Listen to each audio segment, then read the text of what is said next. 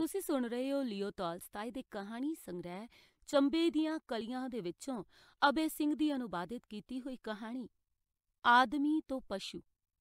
ਤੇ ਆਵਾਜ਼ ਜੋ ਤੁਸੀਂ ਮਾਣ ਰਹੇ ਹੋ, ਇਹ ਹੈ ਸਿਮਰਨ ਅਕਸਤੀ ਇੱਕ ਗਰੀਬ ਜੱਟ ਪ੍ਰਭਾਤ ਵੇਲੇ ਹਲ ਵਾਉਣ ਲਈ ਗਿਆ ਤੇ ਆਪਣੇ ਨਾਲ ਦੋ ਰੋਟੀਆਂ ਲੈ ਗਿਆ। ਪਹਿਲੀ 'ਚ ਪਹੁੰਚ ਕੇ ਉਹਨੇ ਕੁੜਤਾ ਲਾ ਦਿੱਤਾ ਤੇ ਉਹਦੇ ਵਿੱਚ ਰੋਟੀਆਂ ਲਪੇਟ ਦਿੱਤੀਆਂ। ਤੇ ਤਾਰਿਆਂ ਦੀ ਛਾਵੇਂ ਹਲ ਵਾਉਣਾ ਆਰੰਭ ਕਰ ਦਿੱਤਾ। ਕੁਝ ਚਿਰ ਪਿੱਛੋਂ ਜਦੋਂ ਉਹਦੇ ਬਲਦ ਥੱਕ ਗਏ ਤੇ ਉਹਨੂੰ ਆਪ ਵੀ ਭੁੱਖ ਲੱਗੀ, ਤਾਂ ਜੱਟ ਨੇ ਹਲ ਖੋਲਿਆ ਬਲਦਾਂ ਨੂੰ ਚਰਨ ਸੁਗਣ ਲਈ ਛੱਡਿਆ ਤੇ ਆਪਣੇ ਕੁੜਤੇ ਰੋਟੀਆਂ ਵੱਲ ਆਇਆ। ਜਦ ਉਹਨੇ ਕੁੜਤਾ ਫੋਲਿਆ ਤੇ ਰੋਟੀਆਂ ਉਹਦੇ ਵਿੱਚ ਹੈ ਹੀ ਨਹੀਂ। ਉਹਨੇ ਕੁੜਤੇ ਨੂੰ ਚੰਗੀ ਤਰ੍ਹਾਂ ਵੇਖਿਆ, ਝਾੜਿਆ, ਪਰ ਰੋਟੀਆਂ ਕਿਤੇ ਵੀ ਨਜ਼ਰ ਨਾ ਪਈਆਂ। ਵਿਚਾਰਾ ਬੜਾ ਹੈਰਾਨ ਹੋਇਆ। ਮਨ ਚ ਆਖੇ, ਬੜੀ ਅਜੀਬ ਗੱਲ ਹੈ। ਮੈਂ ਤੇ ਕਿਸੇ ਨੂੰ ਨੇੜੇ ਆਉਂਦੇ ਵੀ ਨਹੀਂ ਵੇਖਿਆ। ਮੇਰੀ ਰੋਟੀ ਚੁੱਕੀ ਕਿਸ ਤਰ੍ਹਾਂ ਗਈ? ਅਸਲ ਦੇ ਵਿੱਚ ਗੱਲ ਇਸ ਤਰ੍ਹਾਂ ਹੋਈ ਕਿ ਜਦੋਂ ਜੱਟ ਹਲ ਚਲਾਉਂਦਾ ਸੀ ਤਾਂ ਇੱਕ ਭੂਤਨੇ ਨੇ ਰੋਟੀ ਚੁਰਾ ਲਈ ਤੇ ਝਾੜੀ ਦੇ ਪਿੱਛੇ ਬੈਠ ਕੇ ਤਮਾਸ਼ਾ ਵੇਖਣ ਲੱਗਾ। ਭੂਤਨੇ ਨੂੰ ਉਡੀਕ ਸੀ, ਕ੍ਰੋਧ ਦੇ ਵਸ ਹੋ ਕੇ ਹੁਣੇ ਜੱਟ ਗਾਲਾਂ ਕੱਢੇਗਾ ਤੇ ਗੁਰੂ ਤੋਂ ਬੇਮੁਖ ਹੋ ਕੇ ਸ਼ੈਤਾਨ ਦੀ ਪਰਜਾ ਬਣੇਗਾ। ਜੱਟ ਨੂੰ ਰੋਟੀ ਚੁੱਕੇ ਜਾਣ ਦਾ ਅਫਸੋਸ ਤਾਂ ਬੜਾ ਹੋਇਆ, ਪਰ ਉਹਨੇ ਆਖਿਆ ਵੀ ਹੁਣ ਕੀ ਬਣ ਸਕਦਾ ਮੈਂ ਕੋਈ ਭੁੱਖ ਨਾਲ ਮਰ ਥੋੜਾ ਚੱਲਿਆ। ਉਹ ਕਿਸੇ ਭੁੱਖੇ ਨਹੀਂ ਚੁੱਕੀ ਹੋਣੀ ਐ। ਉਹਦੇ ਕੰਮ ਆਏਗੀ। ਚਲੋ, ਗੁਰੂ ਉਹਦਾ ਭਲਾ ਕਰੇ। ਇਉਂ ਆ ਕੇ ਉਹ ਖੂਹ ਨੂੰ ਗਿਆ ਤੇ ਠੰਡੇ ਪਾਣੀ ਦੇ ਦੋ ਘੁੱਟ ਪੀ ਕੇ ਲੇਟ ਗਿਆ। ਕੁਝ ਚਿਰ ਪਿੱਛੋਂ ਉਹਨੇ ਫੇਰ ਬਲਦ ਜੋੜੇ ਤੇ ਹਲ ਚਲਾਉਣ ਲੱਗਾ। ਭੂਤਨੇ ਨੂੰ ਇਹ ਵੇਖ ਕੇ ਬੜੀ ਨਿਰਾਸ਼ਤਾ ਹੋਈ ਕਿ ਜੱਟ ਉਹਦੇ ਫੰਦੇ 'ਚ ਫਸਿਆ ਹੀ ਨਹੀਂ। ਉਹ ਆਪਣੇ ਮਾਲਕ ਸ਼ੈਤਾਨ ਦੇ ਕੋਲ ਅਪੜਿਆ ਤੇ ਉਹਨੂੰ ਰੋਟੀ ਵਾਲੀ ਸਾਰੀ ਗੱਲ ਸੁਣਾਈ ਤੇ ਦੱਸਿਆ, ਜੋ ਵੀ ਜੱਟ ਨੇ ਆਖਿਆ। ਉਸ ਦੱਸਿਆ ਕਿ ਜੱਟ ਤੇ ਆਂਦਾ ਸੀ, ਰੱਬ ਉਹਦਾ ਭਲਾ ਕਰੇ। ਇਹ ਕੀ ਗੱਲ ਹੋਈ ਭਲਾ? ਸ਼ੈਤਾਨ ਨੂੰ ਰੋਹ ਚੜ ਗਿਆ। ਉਹਨੇ ਆਖਿਆ, ਜੇ ਆਦਮੀ ਪਾਸੋਂ ਤੂੰ ਹਾਰ ਖਾ ਆਇਆ, ਤਾਂ ਇਹ ਤੇਰਾ ਆਪਣਾ ਕਸੂਰ ਹੈ। ਤੈਨੂੰ ਆਪਣੇ ਕੰਮ ਦੀ ਜਾਂਚ ਨਹੀਂ। ਜੇ ਕਿਸਾਨ ਤੇ ਉਹਦਾ ਕਬੀਲਾ ਮੇਰੇ ਇਸ ਹੁਕਮ ਤੋਂ ਬਾਹਰ ਹੋ ਗਏ ਤਾਂ ਮੇਰੀ ਕਿਹੜੀ ਥਾਂ ਹੈ ਤੂੰ ਇਸ ਗੱਲ ਨੂੰ ਇੱਥੇ ਛੱਡ ਤੇ ਛੇਤੀ ਵਾਪਸ ਜਾ। ਇਹ ਮੋਰਚਾ ਫਤਿਹ ਕਰ। ਜੇ ਤੂੰ ਤਿੰਨਾਂ ਸਾਲਾਂ ਅੰਦਰ ਉਸ ਜੱਟ ਨੂੰ ਜਿੱਤ ਕੇ ਨਾ ਮੁੜਿਓ, ਤਾਂ ਤੈਨੂੰ ਅੰਮ੍ਰਿਤ ਸਰੋਵਰ ਵਿੱਚ ਚੁੱਭੀਆਂ ਦਵਾਵਾਂਗਾ ਮੈਂ।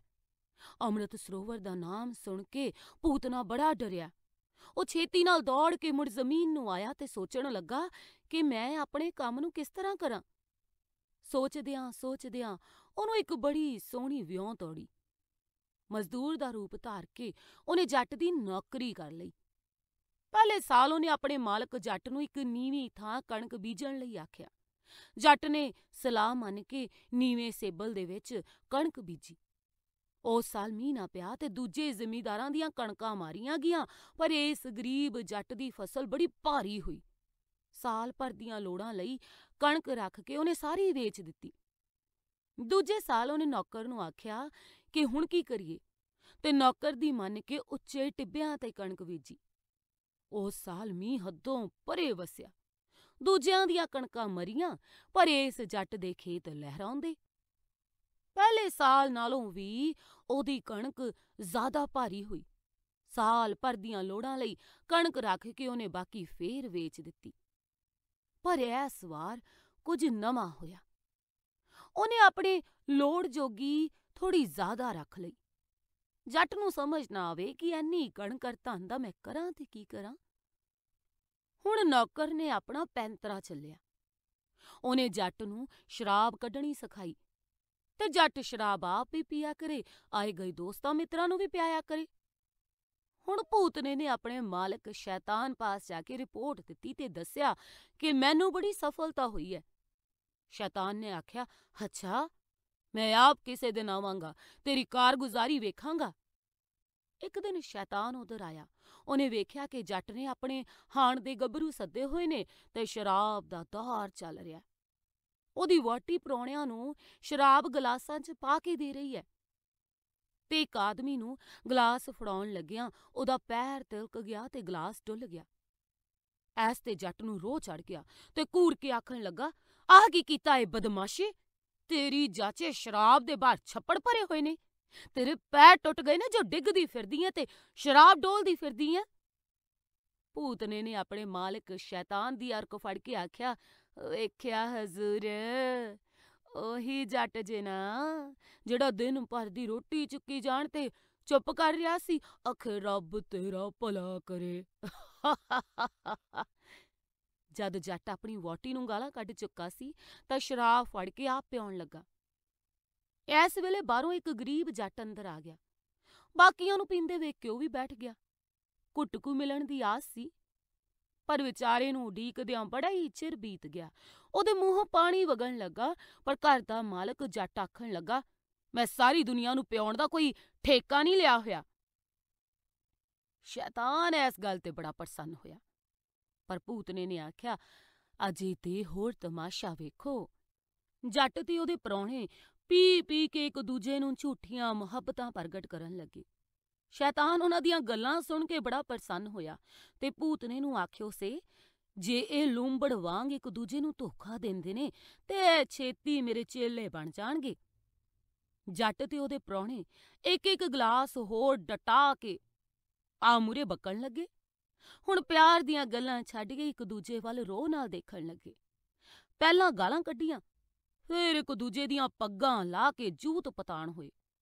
ਘਰ ਵਾਲਾ ਜੱਟ ਵੀ ਵਿੱਚ ਹੀ ਰਲਿਆ ਫਿਰੇ ਔਰ ਉਹਨੂੰ ਵੀ ਚੌਖੀਆਂ ਠੁਕੀਆਂ। ਸ਼ੈਤਾਨ ਡਾਢਾ ਪ੍ਰਸੰਨ ਹੋਇਆ ਤੇ ਆਖੇ, ਬਈ ਇਹ ਤੇ ਹੱਦ ਹੋ ਗਈ। ਪੂਤਨੇ ਨੇ ਆਖਿਆ, ਹਜੂਰ ਅਜੇ ਠਹਿਰੋ, ਸਭ ਤੋਂ ਵਧੀਆ ਤਮਾਸ਼ਾ ਤੇ ਹੁਣ ਆਏਗਾ। ਇਹਨਾਂ ਨੂੰ ਇੱਕ ਇੱਕ ਗਲਾਸ ਜ਼ਰਾ ਹੋਰ ਤੇ ਪੀਣ ਦਿਓ।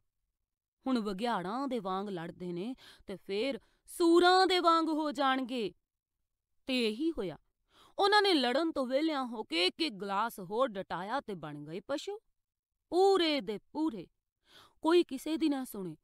ਇੱਕ ਦੂਜੇ ਨੂੰ ਗਾਲਾਂ, ਦਿਲ ਦੀਆਂ ਹਵਾੜਾਂ ਤੇ ਕੱਢ ਕੇ ਦਿਲਾਂ ਦੀ ਪੜਾਸ ਇੱਕ ਦੂਜੇ ਨੂੰ ਆਪੋ ਆਪਣੇ ਘਰਾਂ ਨੂੰ ਟਰ ਪਏ।